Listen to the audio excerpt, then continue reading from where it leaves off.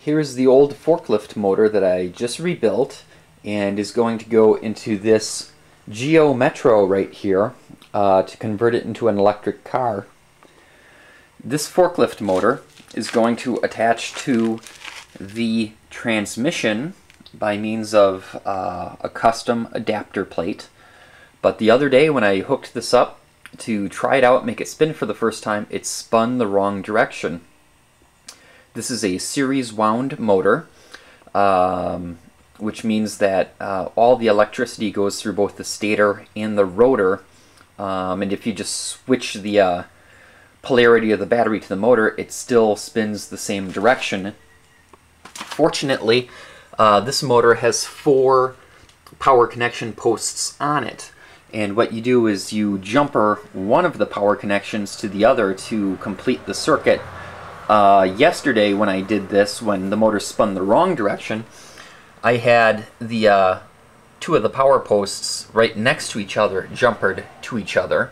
And then on the other side, um, put the two power connections using a uh, battery backup jump starter as my 12 volt power source.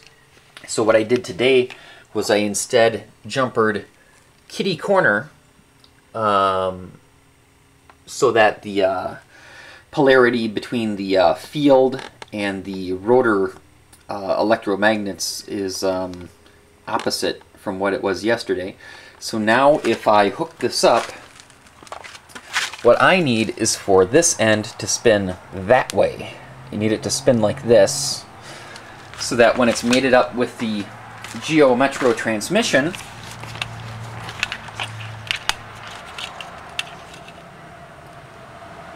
that spins this way,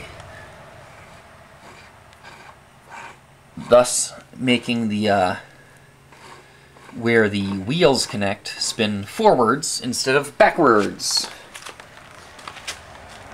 So now I can uh, hook up 12 volts to this motor.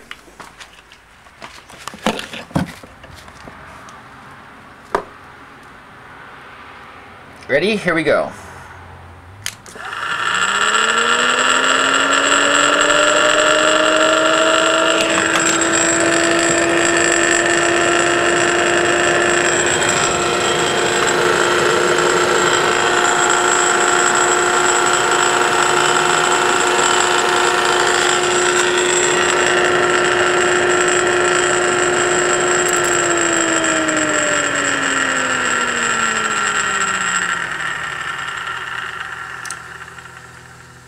And now the drive shaft spins the correct direction.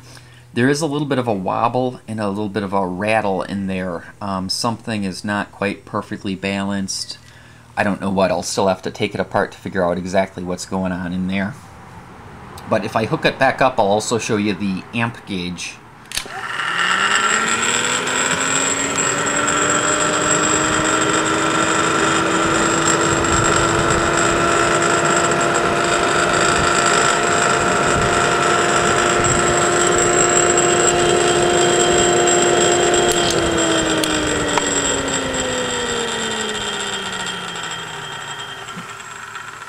So right now when the motor is running, it's pulling uh, a little over 25 amps uh, with no load. And I don't know about you, that just sounds like a lot of amps to me.